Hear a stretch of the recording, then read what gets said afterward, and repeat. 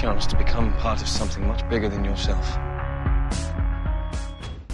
Na de laatste twee tegenvallende films, The Last Stand en Wolverine, dreigde de X-Men franchise zijn fanbase te verliezen. Na het opening weekend van X-Men First Class werden echter alle twijfels en cynici omvergeworpen. In deze alweer vijfde film in de serie keert de regisseur Matthew Vaughn, die van terug naar de jaren 60, naar het begin van de X-Men en de vriendschap tussen de gedoemde aartsrivalen Professor X, hier gespeeld door James McAvoy, en Magneto, gespeeld door Michael Fassbender. Het verhaal begint, net als in de eerste X-Men film, in een concentratiekamp in Polen waar de jonge Magneto voor het eerst zijn krachten ontdekt. Een nazi-wetenschapper, gespeeld door Kevin Bacon, die later bekend zal staan als Sebastian Shaw, een mutant met de gave om energie te absorberen, neemt de jonge Eric Langer onder zijn hoede om de oorsprong van zijn magnetische gave te leren kennen. Terwijl deze jonge Jood een harde weg van pijn en lijden aflegt omwille van zijn gave, groeit aan de andere kant van de wereld de jonge Charles Xavier op in een rijk gezin, samen met zijn geadopteerde zus Raven, later bekend als Mystique. Wanneer ze elkaar eindelijk tegen tegenkomen gaan ze samen op zoek naar andere mutanten met speciale gaven om zo samen de Cubaanse raketcrisis een halt toe te roepen. En natuurlijk worden ze in hun opzet belemmerd door Sebastian Shaw en zijn Hellfire Club.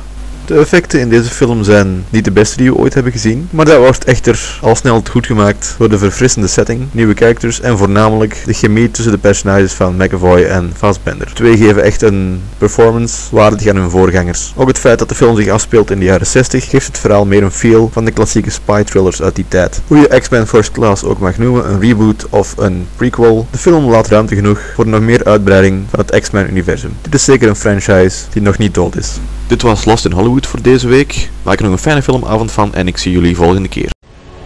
No one can foresee precisely what course it will take. One path we shall never choose. And that is the path of surrender. Listen to me very carefully, my friend. Killing will not bring you peace. Peace was never an option.